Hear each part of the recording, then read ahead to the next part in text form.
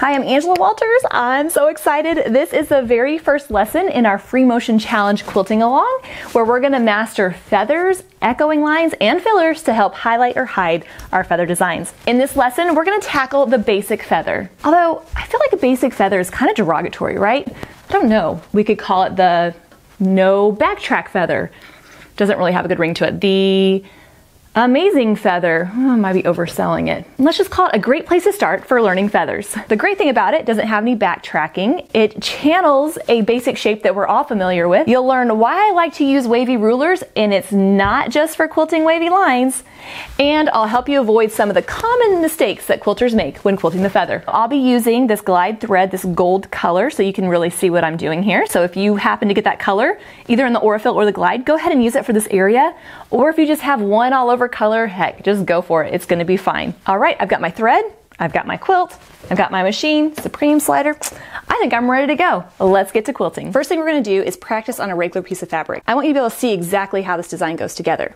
So I have my wavy rulers here. What I'm gonna do is use it to help me create my spine or my stem. For beginners, it might be easier to do a more subtle wave, or if you want a little more advanced, you can try the wavier waves, but we're gonna go with the Wave A ruler. So I'm gonna place it on here and I'm just going to draw my spine. Now the number one problem that quilters have is we don't always make our feathers big enough.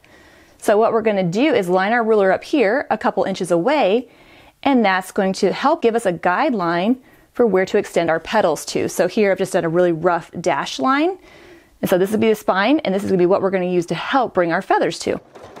I'm going to start by quilting along the spine, and that's going to act as the center of our feather. This blue line that we marked is only a guideline. If it doesn't fall perfectly on that line, don't worry, because once we erase it, you're not even going to be able to see it anymore.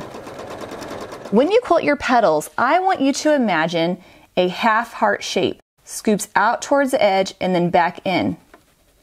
And the most important part is we really want that line to look like it's merging into the spine. I'm gonna go out, put my petal, and scoop it back in because that's what's gonna give me room to fit the next petal.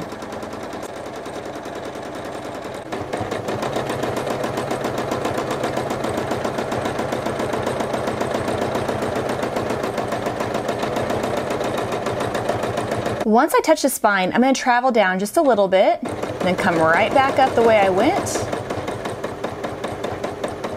arcing out to that line. If I don't hit it, that's fine. If I go past it, it's fine. I just want to get close to it and then bring it right back down, just like a heart. Scooping it in until it merges with that line. And I'm going to keep repeating my way down here.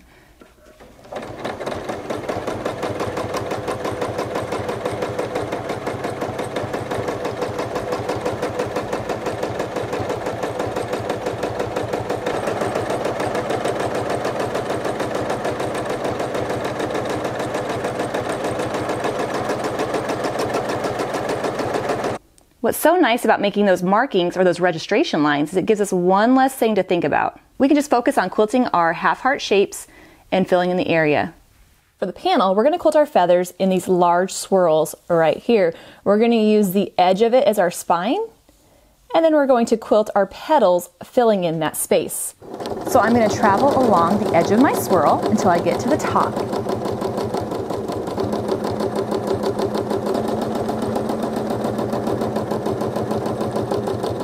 And then I'm going to start quilting my half heart shaped petals. They're going to start out smaller and get bigger as I work my way around. And even though we're working our way around a swirl, it's going to be the same concept. We're quilting our shape, merging it into the line, traveling down, and then adding our next one. Really extending those petals out towards close or touching the edge of the opposite side of the swirl. Stopping when I'm touching the spine, making sure my line looks like it's merging, traveling down just a bit and then quilting our next petal.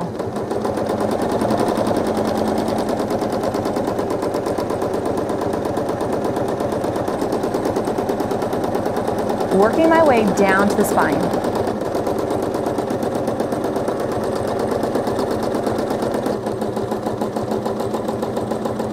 Now, once you get to the point where there's only gold left of your original swirl, you have a choice. You can quilt little tiny petals, or you can just add some more echo lines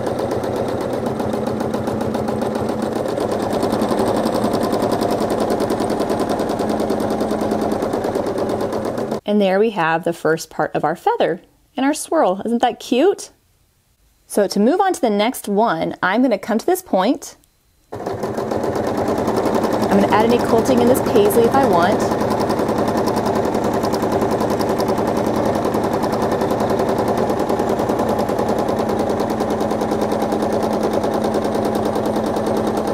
And I'm going to travel along the edge of my next swirl and repeat.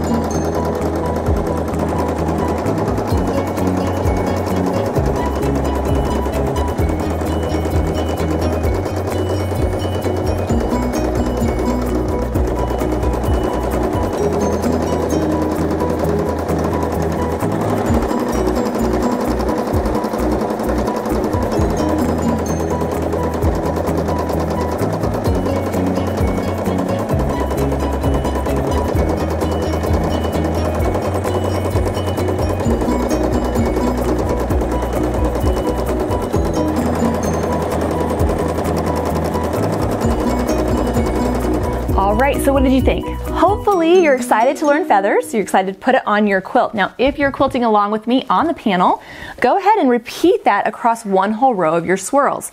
Now you can see I've only done a couple. That's because I'm gonna do the same thing on a long arm machine. So I know some of you taking the challenge are doing this on a long arm, so I'm gonna try to incorporate little bits of me quilting the design on the long arm as well as the sewing machine.